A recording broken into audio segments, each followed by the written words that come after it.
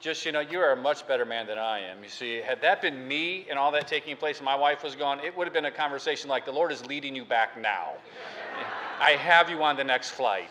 And so you're a good example, brother. You really are. All right. Uh, let's see here. Um, let's, I got many, I should have just picked one to springboard off of here today. Uh, let's go to Ephesians chapter 1, even though I will not really be getting to this verse until next week. I'll use it as a springboard to get into unconditional election.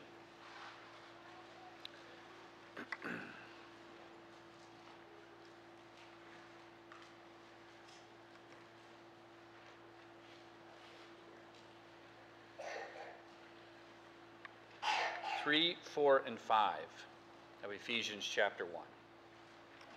Blessed be the God and Father of our Lord Jesus Christ, who hath blessed us with all spiritual blessings in heavenly places in Christ, according as he hath chosen us in him before the foundation of the world, that we should be holy and without blame before him in love, having predestinated us unto the adoption of children by Jesus Christ to himself, according to the good pleasure of his will.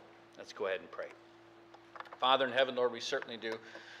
Lord, we love you, and Lord, we ask for your help tonight. Lord, I pray that you would uh, give me clarity and, and help me to teach with clarity tonight. And uh, Lord, that we would have understanding of your word. Lord, you help us to be grounded and to be firm in our faith. Lord, uh, to use this to help us to understand why we believe what we believe, especially in this ever confusing world.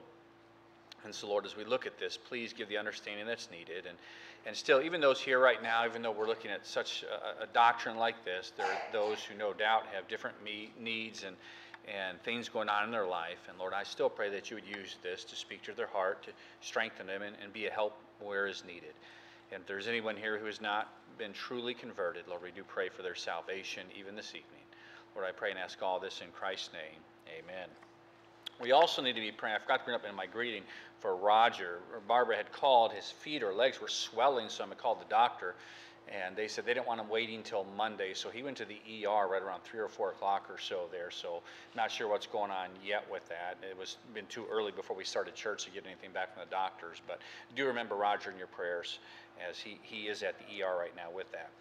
All right, so let's dive into this. We have covered an overview of Calvinism, looking at a little bit of who John Calvin was how the doctrine came into existence and, and um, even the division it caused in Europe and it caused in Europe and whatnot. We looked at the total depravity of man. Uh, the last message dealing with the T of the tulip. And the key from that was, is not that we have, Eh, it's not that there's not agreement that man is, is, is depraved in his, in his sinful, wicked nature. It's the conclusion that we come to at that. And the conclusion of Calvinism is that inability. All right? And we looked at that in their writings, how man is unable to turn to God, unable to seek God unless God first performs regeneration. So we looked at that, how they believe regeneration precedes faith, that you are born again well before so you can actually be saved, and, and the problems we looked at that last time that, that come with that, and why we never see one time in Scripture where regeneration precedes faith. It does not. Um, and that is, again, with the wrong definition, where they use the analogy. I was just reading today a, a debate that was taking place uh, between, uh, I believe it was uh, White and Hunt, um, debating Calvinism. And, and White did use the analogy that I talked about last week of a dead man. And again, the problem is, is they use a carnal definition of dead, as if it means nothingness. And that's not what death means. You go to that actual person, the soul, that soul can respond. It certainly can. So, anyhow, today, though, we, we come to the U of the tulip. And again, this is the very center and the heart of the doctrine of Calvinism. If you were to elevate one above the rest of this, this certainly would be the one. It is of, it is of utmost importance to the doctrine, it is the center of it. And um, so, we are going to look at unconditional election. And I hope to provide a biblical basis to show you in the next couple of weeks why this portion of the doctrine is wrong and unscriptural. There's not one part of the tulip that I can see agrees with Scripture. And so we're going to be dealing this evening with just three different parts as I lay a foundation on unconditional election. And then next week I will get into their proof text for it and, and begin to look at those uh, um, from, a, uh, from, a, from context, uh, from a, a, textual basis. So, first, um, of the three parts we're going to look at this evening, first we're going to look at what Calvinists believe about God's foreknowledge and his omniscience. Secondly, we're going to look at did God preordain everything, including sin? And thirdly, does man actually have a free will? So let me add this too. Um, this comes up oftentimes, and it can be a uh, it can be an issue. There are times when you're talking with those about Calvinism that they will that they rarely will give you audience because of the stature of men like Charles Spurgeon, um, or men in our culture today that are very prominent Calvinists, men like John MacArthur. Um, and they, they look at them and at really how some of those men are incredibly brilliant, and both those two men would be. Um, and I certainly don't, don't come close to that level. So they look at that at that base and they say, well, then why would I listen to you? So we need to, we need to touch on that a little bit because that's a common argument. Even one of the YouTube comments that were put there, they had said uh, the Calvinists, will, the, the YouTube comments will escalate rapidly when you deal with Calvinism. And so one of them had just commented, he didn't deal with any of the doctrine of total depravity. He just said MacArthur or White would tear him up in a debate. He might be right. One, White debates for a living. He has thousands of times that he's debated. He might, but that doesn't mean I'm wrong. It doesn't. You say, well, then how can they be wrong when there, there, there are, I mean, let's you get like men with MacArthur and his expository preaching has helped millions. Um, and I, I, don't question that. I don't. Um, but let me put it this way when you start with a wrong presupposition of something you believe, and then you go to the Bible, you are bound for trouble. All right? Because it's almost as if you're looking for that. Do I, do I believe that if and obviously, since I'm a non Calvinist, I believe this completely. But I believe if you take a man like MacArthur, and all of a sudden he was a blank slate when it came to Calvinism, he just went to the Bible, there's no way I believe he'd come out the other end a Calvinist. I do not. Let me give you another example. Let's say that you have been taught your entire life that Jesus is not God. And then you happen to go and read in the Bible where him coming when he was uh, it was during his, the last week of his life when he traveled to Jerusalem. If you remember, he entered on there. He, he came in, uh, was it that Sunday? Monday, when he was going back to start his debate, and he comes up on the tree, and it says, supposing that there was to be fruit there. In your mind, because of a presupposition you'd have, you would conclude, I have a proof text that Jesus is not God. That's how you would see it because of how you're viewing it with what you already think. That carries that don't misunderstand that's true of all of us. There's certain presuppositions you have that when you come to the bible you've, you've got to be willing and that's not easy to almost lay those aside. Let me give an example where it happened with me which was which wasn't easy because it was challenging that week when we were going through the book of matthew and i came up on the teaching of christ on, mar- on, on uh, divorce and remarriage and all of a sudden i'm diving into this and I'm getting challenged. I'm like, hmm. Where I could see an exception that I did not agree with before. And I had, I, that week, I had to go over okay, am I approaching this with any presuppositions? And I did have to admit, it was something that was put in my mind before I ever researched it from Scripture. So then, was I seeing things in Scripture based on the thought that was given? Um, and you want to go back and read those messages, you, you, you, certainly can. There's a series when we went through Matthew on that. Um, so I think that has, that has some bearing in it. I, I don't think I am smarter or a, a better preacher than Charles Spurgeon, not even close. It doesn't mean he wasn't wrong on this. So let's get into this now. The definition of unconditional election. Let's go to their document again. I'll go to the canons of Dort. I covered that last week as to what this document is. To quote from there, the uh, uh, uh, of the definition of unconditional election. The unchangeable purpose of God, whereby before the foundation of the world he hath out of mere grace, according to the sovereign good pleasure of his own will, chosen from the whole human race a certain number of persons to redemption in Christ. Again, if anyone is to be saved, it is because God has chosen them to be saved simply out of his grace.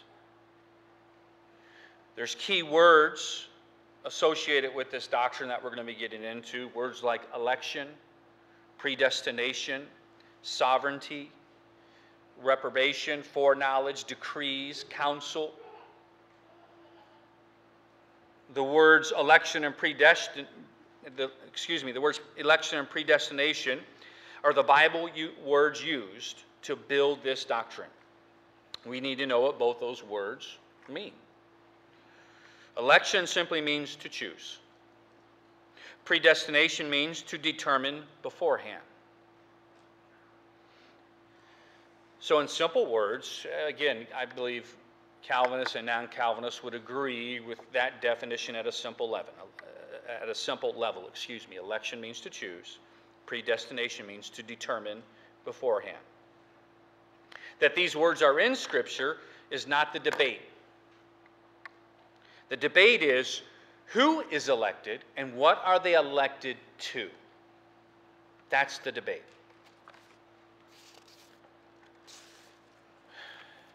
They make much, when you get into studying unconditional election, about the decrees of God, what God has decreed before time, before the foundation of the world. Calvinists believe that in time past, God decreed all events, including who would obtain salvation and who would be reprobate so as to go to hell. Let me quote from some of their sources. Now, understand, some of the things I'm going to deal with today are debated within Calvinism themselves. Okay? Some Calvinists would refer to what I'm getting ready to dive into, that this group would be called hyper Calvinist. All right? And the truth is, though, when you break it down, uh, I remember when I was studying it out, to me, the hyper Calvinists were just honest Calvinists. They just simply thought, if I believe this, then this does have to be true, and they were willing to admit it.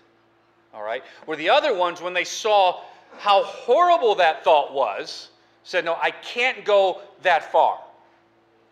All right? I can't, and you'll understand why as we go through this. So let me quote. Um, first off, we'll get into W.E. Best. He's a, he wrote many books on Calvinism. He, he died actually uh, 20, 30 years ago. 1950s and 60s was his time of his influence, and he did debates and whatnot. But anyhow, let me, let me quote from him. The decrees of God may be regarded in one complex decree, including all things. The extent of God's decree covers everything before time, through time, and subsequent to time. It is unchangeable. There is no alteration in the divine intention. No new act will ever into, enter into the divine mind. Furthermore, there will be no uh, reversion of the divine plan. All right? So, again, and we're going to see, I'll quote more, more from it, how he is laying the foundation that God has decreed everything. This is from the Westminster Confession.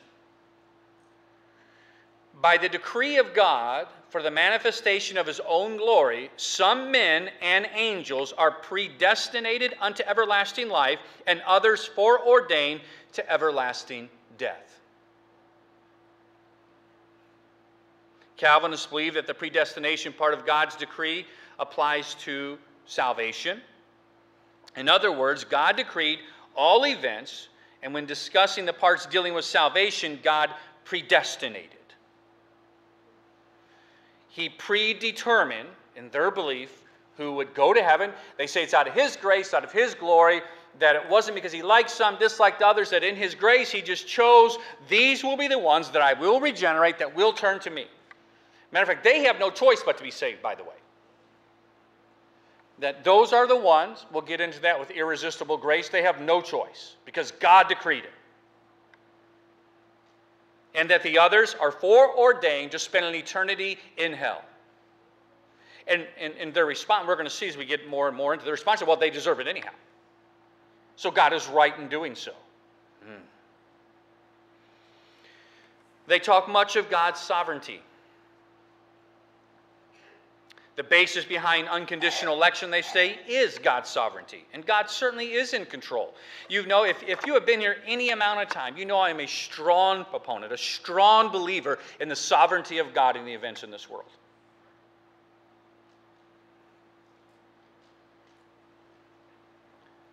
but they have almost what is considered to be the terminology, I mean, the books, they call it an extreme view of God's sovereignty. I don't think it's an extreme view of God's sovereignty, it's simply a wrong view of God's sovereignty. And that wrong view of God's sovereignty is the foundation for the wrong assumptions leading to the doctrine of unconditional election. This view on God's sovereignty leads really to many false doctrines. We're going to see this. For instance, they believe the only reason God is all knowing. Now, get this. This is just, I remember when I first read this years, I was just like, what? It's kind of like when you first find out that they actually believe regeneration precedes faith, that you're born again before salvation ever occurs. That's just, I remember when I first read that, it was just shocking. Like, how could you believe that? But the reason why they believe that God is omniscient, or, uh, um, yeah, omniscient is simply because he predetermined everything to happen.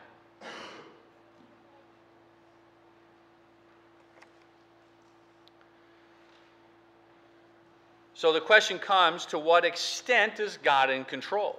Does man have free will? The Calvinist belief is that if God is sovereign, if God is in control, then man cannot have free will.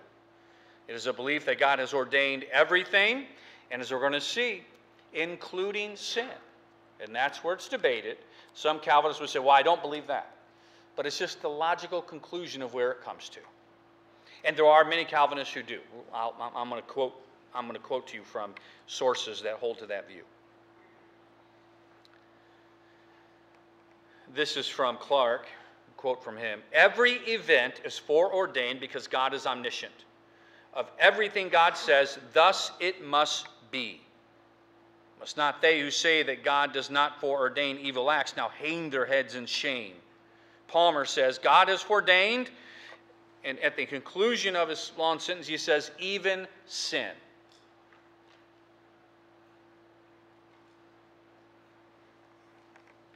So, why does God know what is going to happen in the future?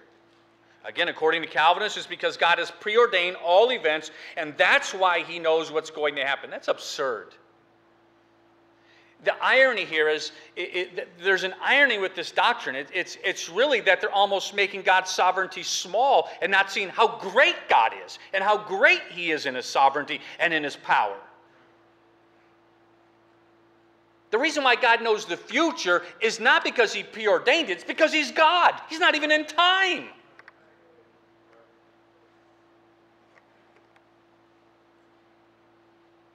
Let me give some quotes. The idea that God knows the future without having planned it and without controlling it is totally foreign to Scripture. No, your thought is totally foreign to Scripture. If God did not foreordain all things, he could not know the future. God foreknows and knows all things because he decreed all things. Crazy. God knows what's going to happen in the future because he is God. He is all knowing. It doesn't say in the Bible when it deals with God being omniscient, how everywhere it stresses over and over. Uh, First John, I mean, there's so many verses I have written down here that we can go to that are examples of God being all knowing. That's why he knows everything, because he's all knowing. It doesn't say because he decreed everything. It says he's all knowing. I mean, it's, it's right there in Scripture. You're adding to it because you're starting with another document and trying to make it fit into Scripture. And again, one of the things I appreciate about MacArthur because he's huge on drawing out of Scripture, not with predetermined thoughts going to it. Yet that's what's happening here. You're starting with the thought and going to Scripture to try and back it up.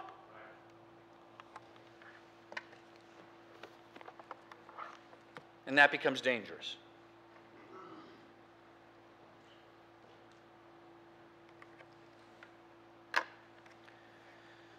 But there are many verses. Uh, you can think in Acts chapter 1, who God knew the hearts of all men when they were trying to decide who to replace Judas with. God knew the hearts. He knew. He was all knowing. It wasn't a question that he decreed it.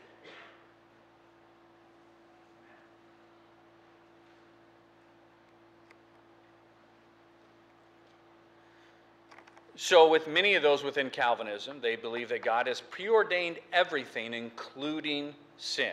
And I've quoted some already who hold to that view. And again,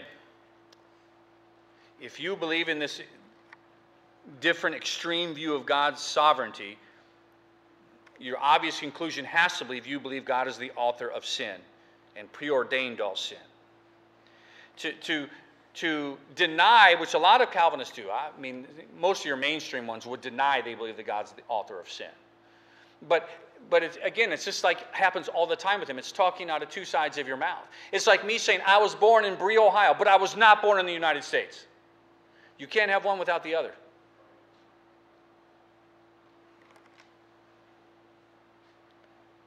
Again, this belief stems from the idea that God knows everything because he preordained it. If you're going to hold to that, that leads to a lot of problems for you. if he knows everything because he preordained it, which is standard Calvinistic doctrine. So then, does God know what sin I'm going to commit tomorrow? He does. Then that means you believe he preordained it.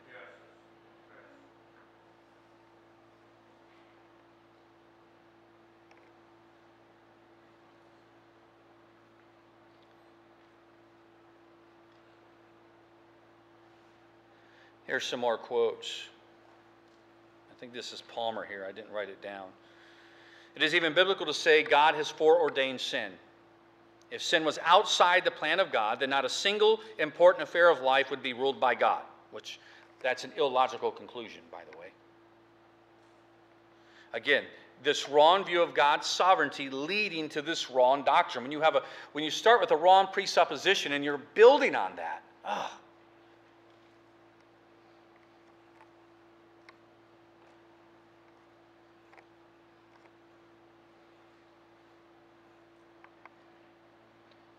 Another quote Nothing comes to pass contrary to God's decree. Nothing happens by chance. Even moral evil, when he, abhor, when he abhors and forbids, occurs by the determinate counsel and foreknowledge of God. All things, including the wicked actions of wicked men and devils, are brought to pass in accordance with God's eternal purpose.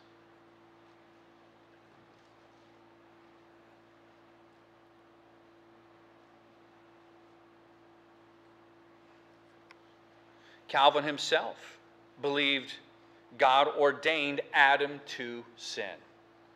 Here's a quote from Calvin I freely, I freely acknowledge my doctrine to be this that Adam fell not only by the permission of God, but by his very secret counsel and decree.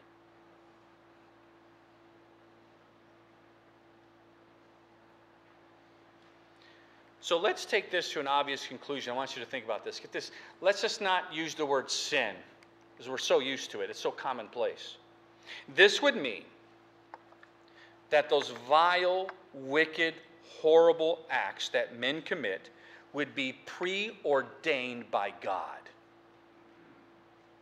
Think of some of the atrocities, the horrors, the vileness, the wickedness to conclude God preordained that act. That's absurd.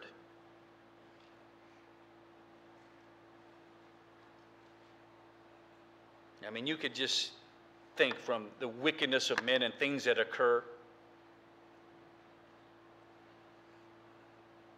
The vileness, the perversions, that God preordained that. God's holy nature makes that impossible and absurd.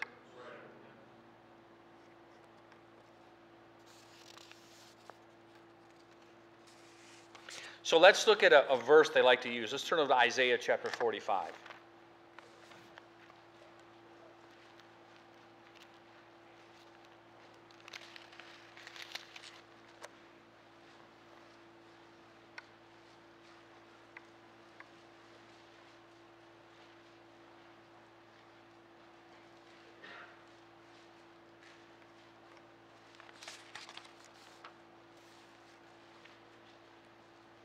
Isaiah 45 and verse 7. I form the light and create darkness. I make peace and create evil. I, the Lord, do all these things. They like to use this as a proof text. See that? Right there. Do not make the error of equating evil with sin. There are times it can be hard to distinguish, but context bears it out. When man does evil, it's going to be sinful. When God does, it never is, and it'll be clear. Evil and goodness are ethical in nature, all right? Temporal in a consequence. Whereas when you deal with sin and righteousness, that's different. Those are moral in nature and eternal in consequence. Let's look at 2 Samuel chapter 17.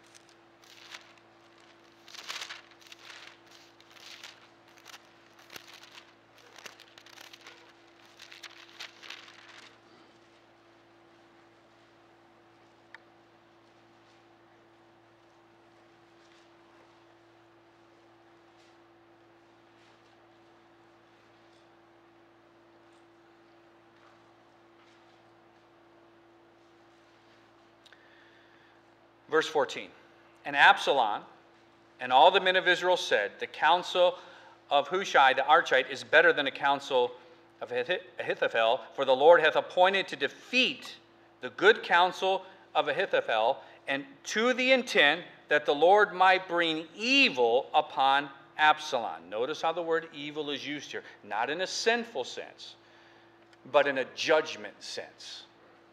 All right?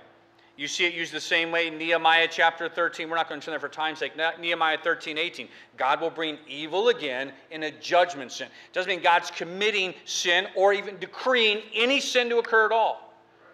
But bad things are getting ready to happen suffering's getting ready to occur.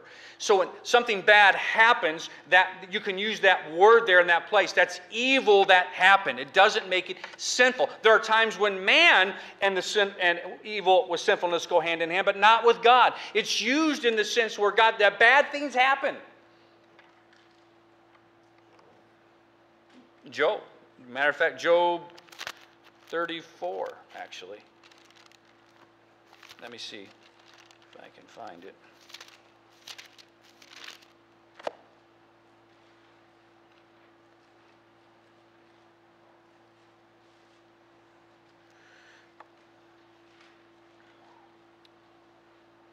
There was all types of evil that happened unto Job.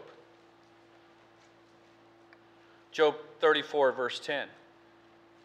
Therefore, hearken unto me, ye men of understanding. Far be it from God that he should do wickedness, and from the Almighty that he should commit iniquity. God never gets commits sin. But the word evil is also used in the essence of bad things, of using it in forms of judgment, like we saw in 2 Samuel, like we see in Nehemiah, and other places in Scripture, when referring to bad things getting ready to occur.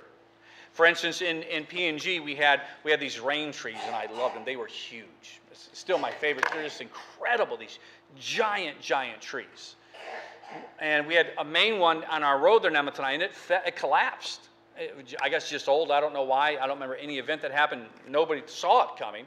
but it fell, and a police car was right there with the policeman inside. We only have a couple of police guys right on tonight. It killed them.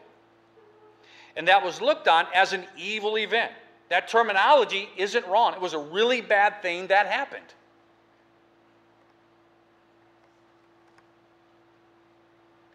Since Calvinists believe that God has preordained everything, this leads to the conclusion in, in their mind that man doesn't have a free will. But we do. Calvinists teach that if man has a choice, then God is not sovereign. As if somehow God giving man a choice attacks God's sovereignty. No, it's in God's sovereignty that he chose to give man choice. It speaks to the greatness, doesn't limit God one bit. God, in his sovereignty, when he decided, get this, to create man in his image, a God who has choice, gave the creation he created in his image choice. It was in God's sovereignty that he decided to give man free will.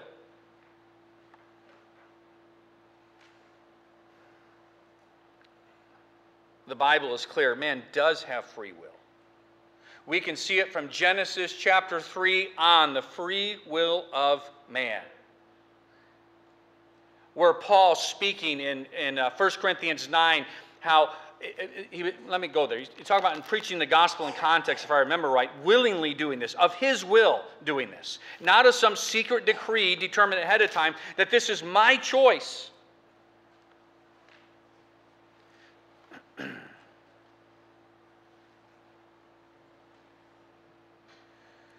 Verse 16 For though I preach the gospel, I have nothing to glory of for necessity is laid upon me, for woe is unto me if I preach not the gospel. For, for if I do this thing willingly, I have a reward. But if against my will, a dispensation of the gospel is committed unto me. He had a choice of his own will. It's, it's like they Calvinists want to teach. Well, well, it, it's uh, uh I'm, I'm, I'm using my word here, not theirs. It's almost like they think that man is that God puts a delusion upon man to let him think he has free will when he doesn't. No, we are created in His image. We have free will.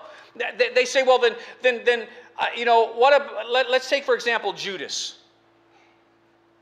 That, that, in their mind that had to be predetermined, preordained by God. We have the prophecies. God knew what was going to happen. No, know what God knew in His sovereignty? He knew there was a man who, in his own free will, would make those choices. And that sovereign God, whose sovereignty is greater than you can even imagine, in His sovereignty, put him in the right place at the right time with a man with his own free will would make those choices to fulfill prophecy without him having to remove that man's free will. Make no mistake, God does know everything. He knows exactly how you will decide what you'll decide. He already knows it. And, and to think of how powerful it is that He puts everything together. God, in His, his mind boggling sovereignty, that's why you're alive right now, because He knew the choices you would make.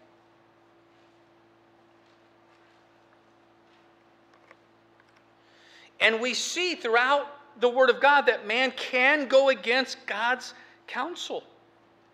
Proverbs chapter 1.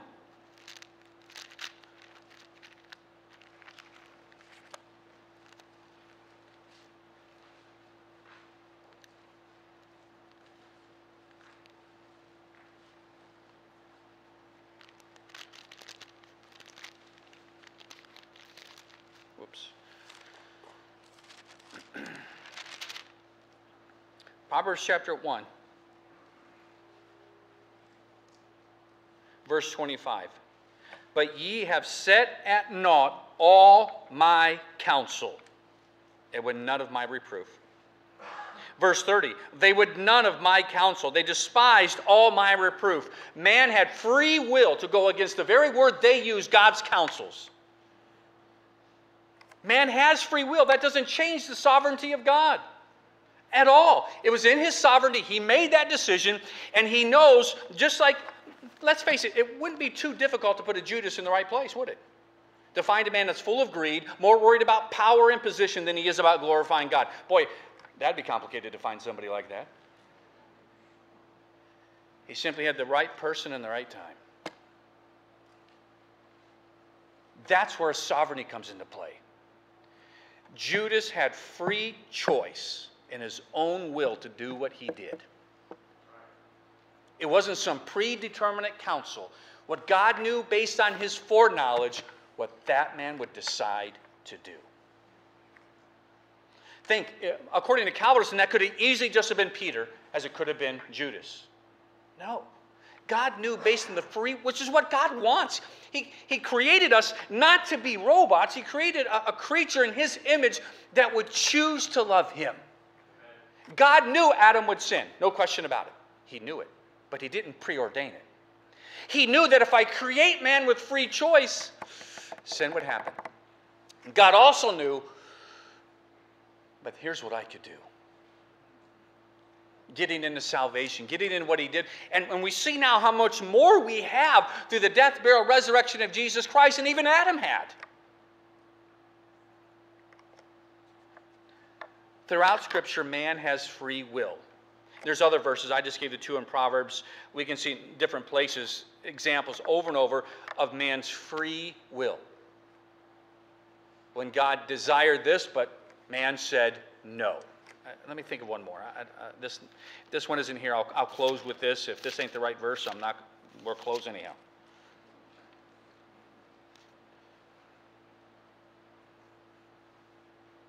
Yeah, I think this is it. Yes. This is dealing with John the Baptist in context um, here in Luke uh, chapter 7. Verse 28, we have that popular verse For I say unto you, among those that are born of women, there is not a greater prophet than John the Baptist. But he that is least in the kingdom of heaven is greater than he.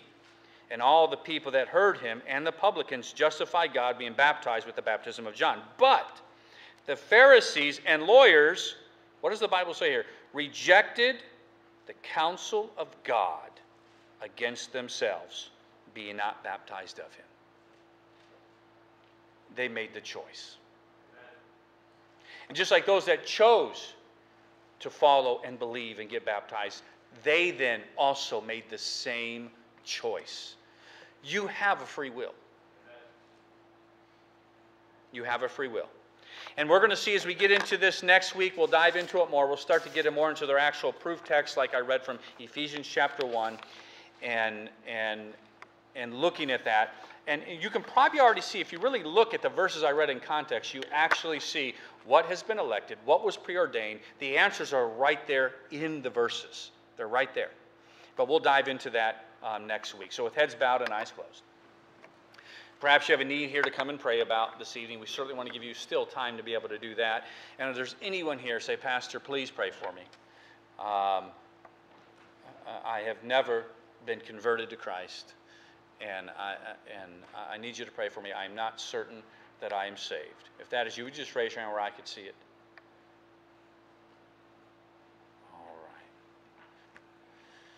All right. If you need to come and pray, you can pray. Father in heaven, I pray that you'd bless this invitation, work in hearts and lives. Lord, I pray this in Christ's name. Amen. Let's all stand to our feet. Let's turn to page 483. And if you need to pray, you come and pray.